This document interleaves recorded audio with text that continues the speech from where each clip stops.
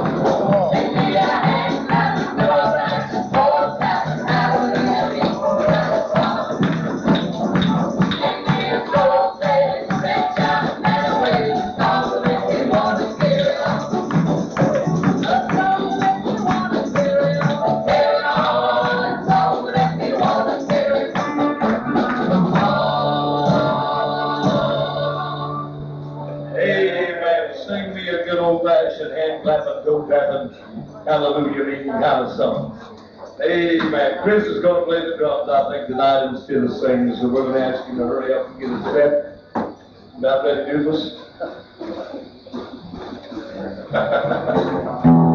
I asked him who combed his hair, and he said his brother.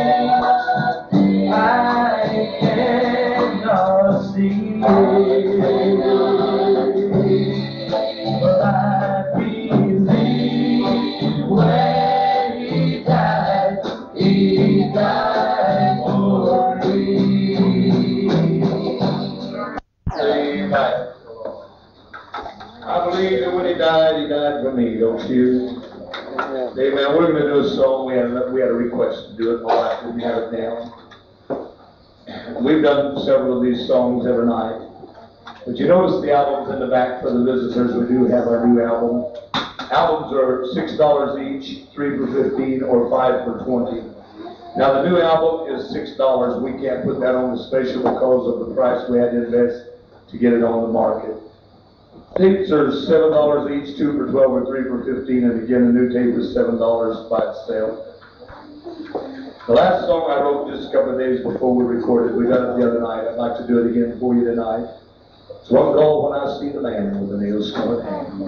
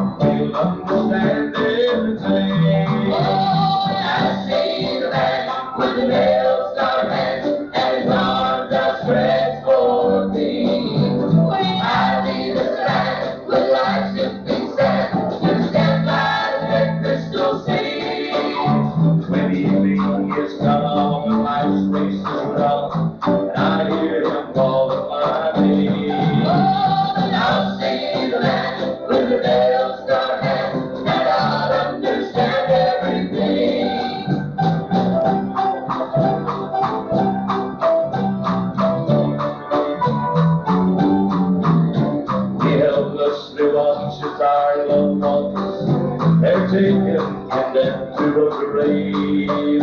With sadness and tears, lay them to rest, but we anxiously wait for the day.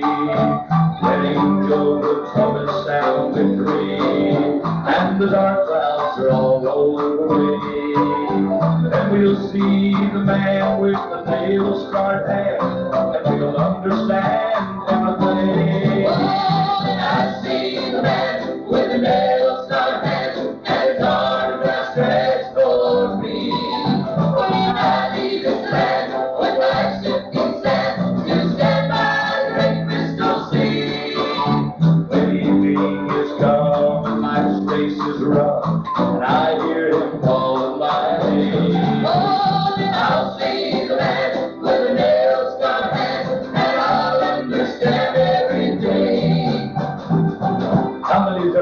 question i unanswered, amen, but you never understood.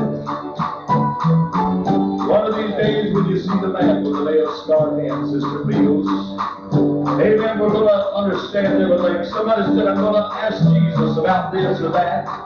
Brother Dale, I'm not going to ask him about anything on that day because the Bible says that then I'm going to know. Amen. When I see him, I'm going to understand all the things that have been dark to me. Sister Webb, I'll see the man with the little scarred head, but I'll understand everything. Amen.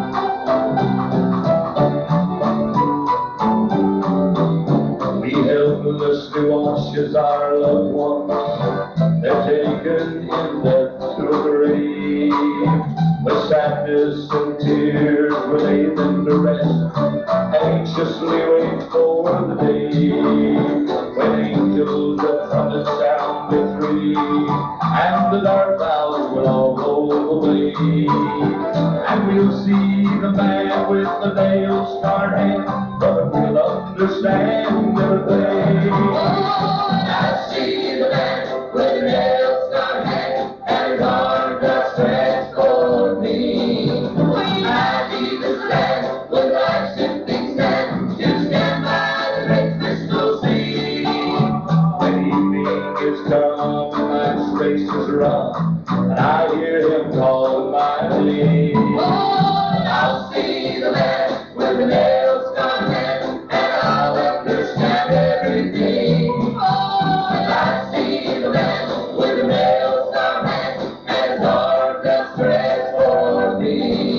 me.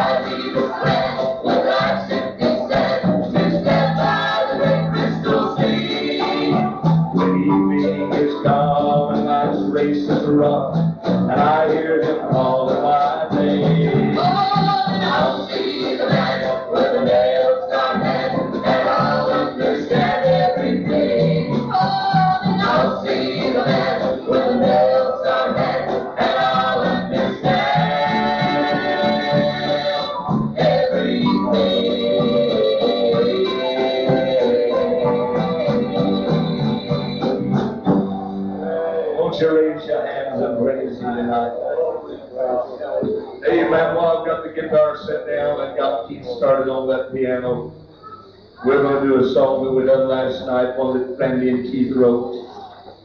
One called In That Land Where the Harvest Fields No More. This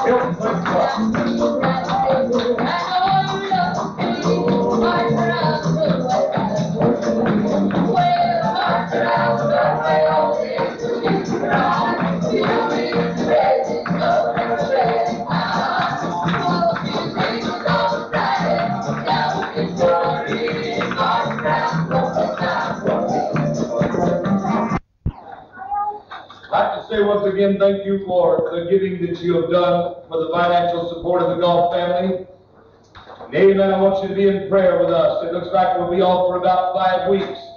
Uh, unless the Lord moves otherwise by the time we get through with these kids and everything. And so we do ask you to pray with us. Amen. God's a big God. God has always been good to us. I have no complaints. Amen. I want you to preach with me, if you will, tonight out of the book of Matthew, the ninth chapter, verses 20, 21, and 22.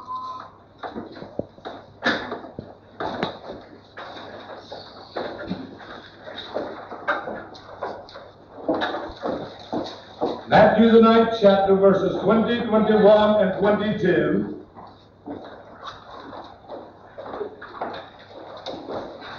Said, behold, a woman diseased, which was diseased with an issue of blood twelve years, came behind him and touched the hem of his garment. For she said within herself, If I may but touch his garment, I shall be whole. But Jesus turned him about, and when he saw her, he said, Daughter, be of good comfort thy faith hath made thee whole. And the woman was made whole from that hour. Brother Clayton, would you pray? Father, once again, we thank you for the privilege of being in thy house, God, to worship thee in spirit and truth. Now we pray, as the bread of life is broken and severally given unto each and every individual according to the needs to thy servant. Amen. I thought to myself, Brother Vandenberg, when we talk to someone, we ought to be careful what we say because what we say is very important. When we're talking to someone who is not saved, we ought to be very careful, Sister Mosier, and to say something that would win them to the Lord Jesus Christ. Amen. When we're talking to someone that's discouraged, if we'll talk just if we'll talk encourage and talk, I'll guarantee you that it will benefit them. When we're talking about our church, I believe that if we'll talk about its assets, amen, rather than about its liabilities, uh, if we'll tell people about its good points rather than about its faults, uh, uh, we'll see our church begin to grow. In our text, the Bible says here that this woman was having a conversation. Now she is not talking to someone who is with her, uh, but the Bible says that she is talking to herself. Uh, Amen. How many believe that people talk to themselves? Uh, I went downtown today and I rode around a little while, Brother Montgomery, and I was amazed. About 90% of the people that I passed walking down the street, about 90% of the people that I passed in the automobile, I looked over there and they were talking to themselves. I thought, amen, there are people that talk to themselves, and if you don't believe me, uh, and you just ride downtown or drive down the freeway and watch them, uh, and I'll guarantee you'll find out that they're there. And so we ought to be very careful what we say to each other because our words have the power to help uh, or the power to hurt. Uh, and but I believe with all of my heart if we're careful to be, uh, if we're to be what we say to others, uh, we're to be even more so how we talk to ourselves. Uh, and if you know something tonight, uh, amen, you tell me what kind of a talk you have with yourself and I'll tell you what kind of a person you are. Uh, and you tell me what kind of a talk you have with yourself uh, and I'll tell you what you're apt to become. Uh, and so tonight if I can preach to you for just a little while, uh, I want to preach to you upon the thought of have a little talk with yourself. Uh, now there are two different kinds of talk that you can have. Uh, I find that the first one is an encouraging talk. Uh, amen. I thought of Paul writing in the book of Philippians, and he says to them in so many words, he said, I know what it is to be amazed, and I know what it is to abound. He said, I know what it is to be full, and I know what it is to be hungry. I know what it is to suffer need, and I know what it is to have everything uh, that a man could ever desire. And you see, Paul's life was a life, uh, amen, of leisure before he got saved. Paul was a man brought up in the Jewish traditions. Paul was a man that was set aside, and he wanted for nothing. He commanded respect and held a place of authority. And my friend, he could just snap his fingers, uh, and he had men coming to his call because he was a man of authority. Oh, but he gave it all up for the deal, and met Jesus on the way to Damascus. And you know what? Next time you see him, you see him in a jail cell, and he's not murmuring, and he's not complaining, and he's not. Uh, he's having a little talk with himself, and you know what he says? He said, I can do all things through Christ that strengtheneth me. Amen. Greater is he that's within me than he that's within the world. Oh, Paul said, I realize I'm in the prison cell. I realize things may not be uh, as great as they once once were. I realize that I may not have everything that my heart desires. Oh, but I, I, I know that I have Jesus, and that's all that matters. You see, he had, he had an encouraging talk with himself. On the other hand, I thought about a discouraging talk that I read about in the book of Mark, the 14th chapter. And I read about Peter there and how he denied the Lord, Sister Webb. Amen. I find that Peter, not many hours before that, was in the Garden of Gethsemane when Jesus prayed. And he said, They're coming to take me away and crucify me. This same Simon Peter jumped up and said, Lord, if they take you, they're going to have to kill me. I'll fight to the bitter end. You remember how they came into the garden there and Peter pulled out his sword. Amen. Smote the, the, the servant of the, of the high priest and cut his ear off. Amen. Not many uh, hours after that, brother uh, Vandenberg, they were down there at Pilate's hall, and Jesus was inside talking to Pilate. Uh, Peter was no longer in the presence of the Lord, but he was in the presence of the enemy. Uh, can't you just hear him having a little talk with himself? Uh, one little lady looked out there, Sister in Ebenet, and said, My, uh, uh, one of those guys that followed after Jesus of Nazareth. Uh, I know it's him by the way that he talks and the way that he acts, uh, and I recognize that face. But old Peter looked around and said, Sister, uh, have you got the wrong guy? I said, I don't know him. I don't want to know him. Uh, I said, You see, I'm just a poor old humble fellow passing by. Uh, I can't you just hear the enemy whisper in his ear uh, and said everybody else has run off and left Jesus uh, and you're the only one here among a bunch of heathens uh, who's ever going to know whether you deny him or whether you uh, uh, stand up for him. And so, Yvonne, he had to discourage him, talk with himself, and he talked himself right into saying, I don't know Jesus, and I don't want to know him. And you see, he had a discouraging talk, and he said that I do not want any part of him. And the Bible says that when the cock crew, that Peter called to mind the words of the Jesus said unto him, and when he thought thereon, he wept. Amen. Now, I thought of a great evangelist, a great Methodist evangelist by the name of Luther Bridges one time. Amen. I'm talking about have a little talk with yourself tonight. While I'm thinking about it, I want to say thank you to these teenagers in Lemoore. They've been one of the best groups I've ever preached to. Paula and Sonia have not talked the time. I said I was going to mention that before this revival's over. Amen. I appreciate them tonight. They've been a wonderful audience. I'm talking about have a little talk with yourself tonight. Amen. Now this woman, the Bible said, had a little talk with herself. The Bible said she said within herself. Now what did she say to herself, Brother Vandenberg? She could have said some very distressing things. Did you know that? She could have said, well, life's been cruel and it's cheated me out of the only opportunity of this day. That is being a wife and of a mother. Amen. This may have been softened at first because the Bible said, Sister David, that she was a man, a woman of some means. Amen. And it said that for 12 years she had gone to doctor after doctor after doctor, uh, and all they relieved her of was her money. Uh, and you'll find that we find her not only in a state of poverty, uh, but still yet in a state of affliction. Uh, and Sister Webb, she could have said, Well, I've done everything I know how to do. Uh, amen. I've not been a coward. I've tried everything that I know, and I'm suffering through no fault of my own. I've not been a coward, and if there was a God, He would not have allowed me to suffer like this. Oh, how easy it would have been for her to, for her to have had this kind of a conversation with herself. But if she had talked to herself in this fashion, I'll guarantee you one thing: she would have become a hopeless invalid, or she would have jumped up on some building and jumped off and took her life. Can you say Amen? There was a great sailor by the name of Christopher Columbus one time sailing to a. Now, what did this woman say to herself? Sister Webb, she said, I'm sick. and I know this. This is not a secret. I've had an issue of blood for 12 years. It's the fact that I wake up with them a morning and go to bed with them at night. Amen. She said, you know what? I'm sick. This is true, but I'm not dead. Said, there's a new personality on the scene, a man by the name of Jesus of Nazareth.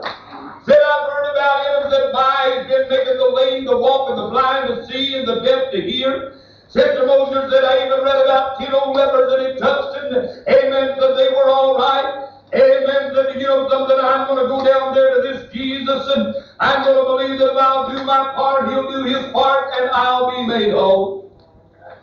Now, she'd have had our attitudes the way we are a lot of times. She'd have said, well, I'll go down there and if he touches me and he heals me, it's all right. If he don't, I'm not any worse off than I was. I'm sick anyway, if I come home sick, that's all right. I'm not improved, I've just not got any worse. Amen. But she said, I'll go down there and I will not fail. She said, I will not fail. I'll touch the hem of his garment, and I'm going to be made whole. You see, this is the way that the Bible said this little woman thought with herself. Now, somebody said, Brother God, what was the outcome of this talk? Now, number one, by talking this way, she kept alive her hope. How many knows what I'm talking about? When you lose heart and when you lose hope, you are through whether you know it or not. I know people that have believed that they were going to die and there was no convincing them otherwise. Uh, and my friend, they just as well go out and get themselves a cemetery plot because they're dead. I